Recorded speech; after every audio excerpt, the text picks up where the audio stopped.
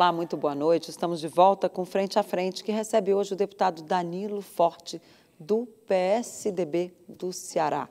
No primeiro bloco, deputado, a gente falava aqui da, do auxílio emergencial, que foi de 600 reais, depois baixou para 300 e agora acabou.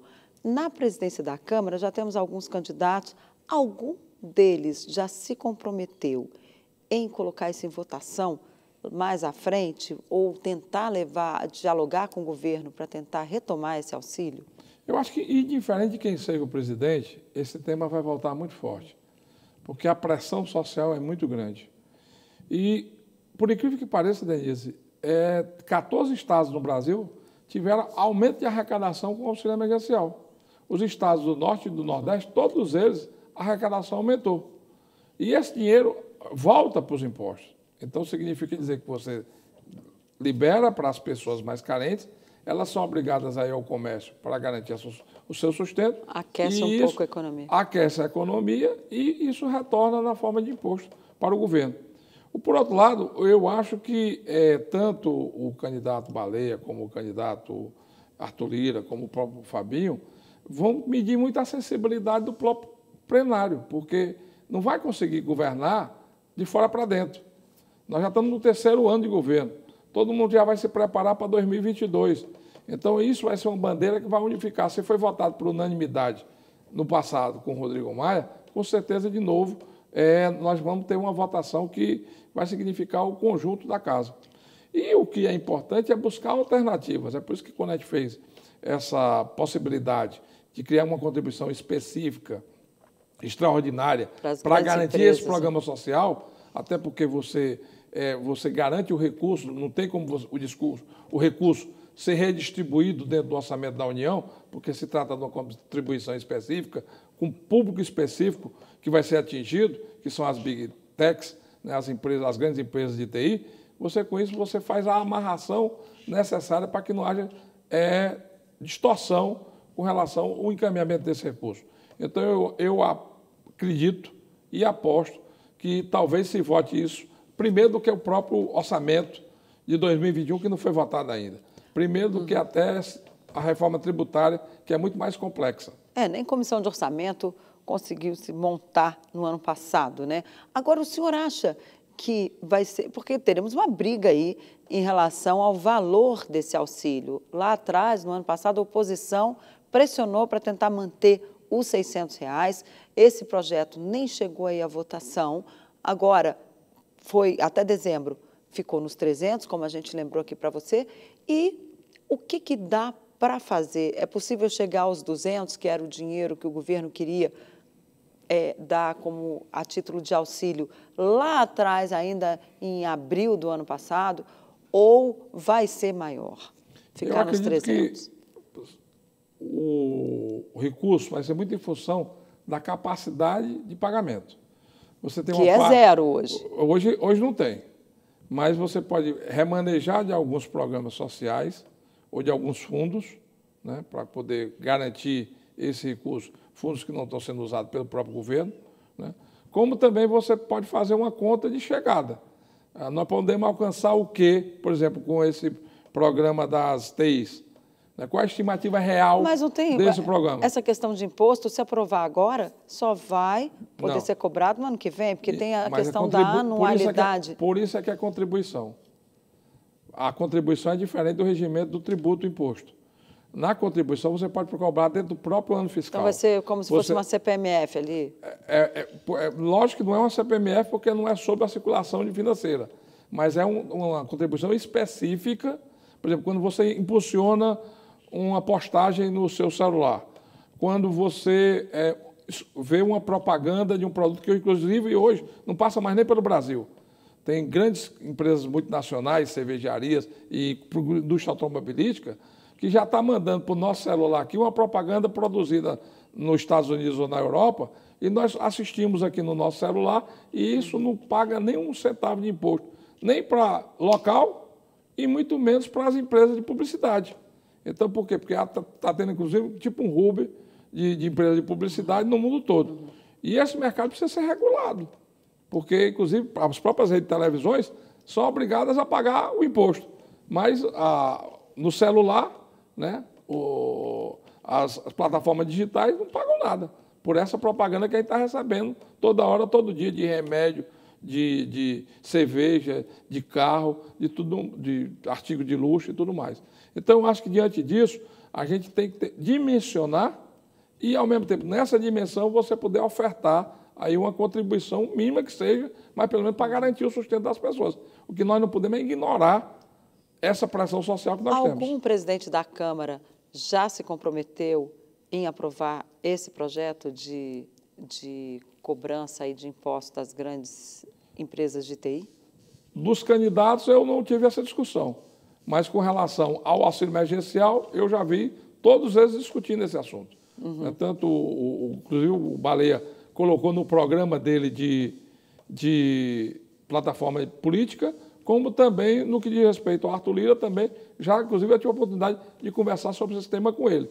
E não tinha outra alternativa. Não adianta imprimir. Imprimir vai uhum. gerar mais dívida e vai gerar um, claro, um buraco fiscal ainda vem, maior. Daqui a pouco precisaremos outro plano real para conter essa loucura, ciranda financeira que virá se não tiver aí um, um, uma responsabilidade fiscal, né? Com certeza a inflação volta. E a inflação nós vivemos e sabemos o desastre que é, é um período de inflação alta. Desarruma tudo. Né? País nenhum consegue sustentar sua economia é, com inflação alta. Tanto é que o crescimento que nós tivemos na primeira década, agora de, de 2001 a 2010, foi em função do ajuste fiscal que foi feito no final dos anos 90, que foi o ajuste fiscal do Plano Real. Então, eu acho que a gente precisa também ter esse cuidado para não ser engolido por uma nova ciranda financeira. Então, diante disso, eu acho que, por isso é que é, a, a preocupação do teto. Mas todo mundo estourou o teto. Ninguém estava preparado para a pandemia. Os Estados Unidos estourou o teto no governo do Bill Clinton. A Agora, relação não tem a situação PIB. econômica que a gente tem aqui, né, deputado? Pois é, mas eu estou só querendo dizer que, do ponto de vista programático, você não pode ter o teto de uma forma tão impositiva. Porque nós votamos a lei do teto. Nós votamos a lei do teto para dar credibilidade, porque o país quebrou no, 2014. E se tirar na, agora, na não é pior? Na reeleição, de novo, aquele instituto da reeleição que eu falei lá atrás, da presidenta Dilma, o país quebrou. E aí o que é que aconteceu? Nós tivemos que dar um parâmetro de, de, de, de teto para diminuir a contenção, para dar contenção ao gasto público. Agora nós estamos em excepcionalidade. Ninguém estava preparado para a pandemia, nem a Europa, nem a Ásia, nem a África, nem os Estados Unidos. Então, diante de uma situação emergencial, precisamos de uma medida emergencial. Agora, e a medida emergencial é essa. Essa lei da, da TI que o senhor se refere, esse projeto, ele vai ser votado dentro de uma reforma tributária, porque a população também não aguenta mais pagar imposto, a carga tributária está alta. Isso vai vir a parte ou vai ficar, ou vem dentro de uma reforma tributária? Eu acho que não dá tempo vir dentro da reforma, porque a reforma é muito complexa.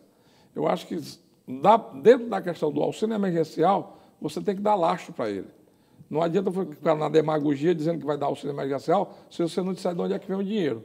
E tem que ter dinheiro. Você não vai pagar o auxílio emergencial emitindo o título. Então, diante disso, eu acho que esse debate ele é anterior ao debate de uma reforma tributária. Por outro lado, é uma, é uma, é uma condição específica dentro de um, de um determinado período de tempo em função da pandemia. É lógico que com o advento da vacina e com a volta da normalidade da economia, sana-se o, o, o, problema emergencial e sana-se também, junto com isso, o auxílio. Então, eu acho que a gente tem que ter conhecimento que nós não estamos criando um tributo novo, nós estamos construindo uma contribuição específica para um dado momento específico que nós estamos vivendo na vida pra nacional. Onde não existe cobrança de impostos, procurar e, esses buracos que, que tem para tentar. E, e exatamente é para preencher, para uhum. preencher, inclusive, essa lacuna que dá evasão fiscal. E nós temos um, um, um mundo de evasão fiscal nas redes sociais. O mundo da TI, o mundo da internet, é um mundo de evasão fiscal. Porque, inclusive, eu tive na Receita Federal, conversei várias vezes lá.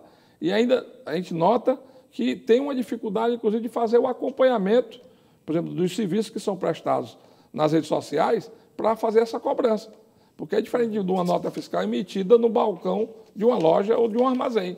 Né? É um serviço que requer, inclusive, um acompanhamento é, com relação a isso, através do ID, né, regional, porque, por exemplo, você está recebendo aqui hoje é, postagem da Coreia, do, do Japão ou de qualquer outro lugar do mundo. Então, entrou no ID, que é o meio de circulação dessas informações no Brasil, automaticamente você vai ter a condição de fazer a cobrança. Agora, já que a gente estava falando a OCDE, aqui... A OCDE, é, inclusive, está regulamentando também isso, porque não é só o Brasil que está brigando por isso. A França já aprovou, a Áustria já aprovou, né? a Inglaterra está discutindo isso, a Alemanha está discutindo isso, a, os países estão discutindo isso, porque a, as relações é, é, econômicas, empresariais e financeiras estão derivando para as redes sociais. Então, já já, né, você vai ter uma facilidade maior de fazer o acompanhamento só pela rede social, mas, por outro lado, você precisa de tecnologia para fazer esse acompanhamento. É para onde o mundo vai. Por falar para onde o mundo vai, como ficamos? Eu quero voltar à presidência da Câmara.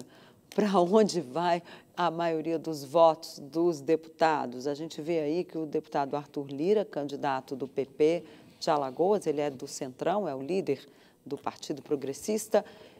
Há uma denúncia, digamos assim, que os parlamentares estão na base do toma lá da cá, que essa disputa virou é uma guerra de quem dá mais, quem tem mais cargos, quem tem mais dinheiro de orçamento. Como é que está isso? Triste momento que a política brasileira está vivendo, né? Eu acho que, às vezes, é por isso que eu, esse negócio de renovação, de nova política, a gente tem que tomar muito cuidado com isso, porque, às vezes, a renovação é para pior. Eu acho que está faltando o debate político.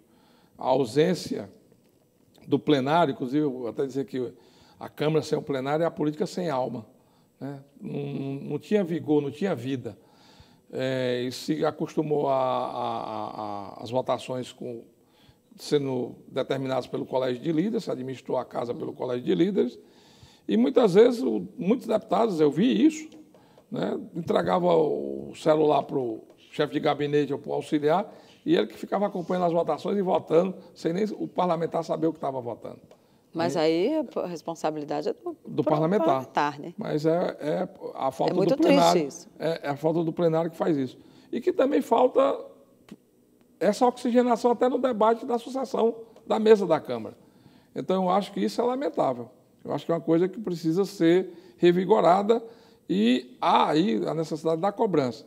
Eu acho que se parte para o toma lá da cá, se diminui ainda mais o debate político. Mas já partiu, né? E isso vai criar mais problema ainda. Primeiro, porque aumenta a chantagem sobre o Poder Executivo, indiferente de quem quer que seja eleito. E, por outro lado, também diminui o compromisso com a população. Né? Porque a população fica vendo aquele jogo lá, mas e, e, e o retorno? Como é que resolve o problema do auxílio emergencial? Como é que resolve o problema da retomada da economia? Como é que conclui as reformas que tá, precisam ser feitas, principalmente a tributária e a administrativa? que precisam ser feitas urgentemente, porque o Brasil está ficando inadministrável. Né? Tá, cada vez é mais difícil administrar um país como, como o Brasil sem você ter uma normatização hoje atualizada de como se dá essa relação. Né? De como é que pode, podemos, inclusive, comprar vacina, comprar a seringa, comprar é, tudo mais e ter um equilíbrio com relação a isso não deixar essa distorção que está tendo no Estado, por exemplo, no meu Estado, comprou respirador por 260 mil reais e teve Estado que comprou por 60. Né? Então, quer dizer, por quê? Porque não tem uma política capaz de centralizar essas informações. E na Câmara, no caso específico da eleição, eu acho que o debate está começando. Né? Eu acho que agora que começou o jogo para valer. Né? Agora que nós vamos ter a exposição dos candidatos, cada um colocando a sua plataforma, né? É, cada um tem um perfil próprio. Né? Arthur Lira é um candidato que tem um perfil ali mais do dia a dia da casa. Né? O Baleia é um deputado que está há pouco tempo em Brasília, mas que está aí, é, tem um, uma, uma, história do MDB, né? e até brinco, tem um padrinho que tem muita tradição na casa, que é o Michel Temer, que foi presidente uhum. da casa três vezes, né? então conhece bem como é que a casa funciona. Tem o Fabinho, que é o grande maestro ali do Baixo Clero, né? com suas refeições é, bem avantajada de uma delícia da comida mineira, que tem muita simpatia de muita gente ali no, no, no Baixo Clero. E eu acho que o que precisa é exatamente cada um dizer a que veio. Se um continuar sendo o candidato do Bolsonaro, outro sendo o candidato do Rodrigo Maia, outro sendo o candidato do Michel Temer, a casa não vai decidir seus problemas. A casa precisa rever o seu regimento interno. nós precisamos criar uma forma de agilizar os processos de votação, nós precisamos democratizar, inclusive, a, a formatação da pauta, porque, por exemplo, se o presidente não quiser levar um tema para o debate, não vota nunca. Deixa caducar a medida provisória. O apoio... Por exemplo, a medida provisória do futebol. Todo mundo no Brasil torce por um time. Eu sou Ceará doente. O Ceará precisa é, equalizar suas contas. O estádio, para um time como o Ceará, como o Fortaleza, é muito importante a torcida, porque é receita. Nós agora, com a pandemia, ficamos sem receita. A sorte é que o Ceará ganhou a Copa do Nordeste e andou bem na Copa do Brasil e com isso gerou receita uhum. para pagar a conta. Senão não tinha conseguido Agora, pagar. Agora, o apoio do presidente Jair Bolsonaro ajuda ou atrapalha? Eu acho que depende de cada momento. Eu acho que é muito importante a relação do executivo com, com o parlamento, é. Agora, a ingerência não. A ingerência nunca. Né? Eu acho que é, o parlamento tem vida própria e o parlamento é uma casa de diálogo. Né? E o, o executivo tem que aceitar o diálogo que é formatado no parlamento e ter uma boa convivência, para poder não deixar que coisas é, que são importantes, por exemplo, eu estava falando da MP do futebol, caducou. E era muito importante para os times brasileiros. Dos 40 times da Série A e Série B, 36 queriam a medida provisória, porque dava autonomia na negociação do bando de campo, e não foi votado. Por quê? Porque simplesmente a direção da casa não colocou em votação. Então, eu acho que isso precisa ser democratizado. E os candidatos precisam assumir compromisso com isso com a independência do poder e, ao mesmo tempo, com a democratização interna dos assuntos, para que o assunto seja debatido e seja ainda, é, colocado em votação. Porque senão fica muito autoritário, muito personalístico, e até para o próprio presidente da casa é ruim depois, porque ele, ele vai ser cobrado. Tem um momento que a sociedade cobra. Claro. Bom, nós vamos para o nosso último intervalo. Eu convido você a continuar aqui com a gente, porque ainda tem muito assunto para a gente tratar aqui no Frente a Frente, que hoje recebe o deputado Danilo Forte, do PSDB do Ceará. Voltamos em dois minutos.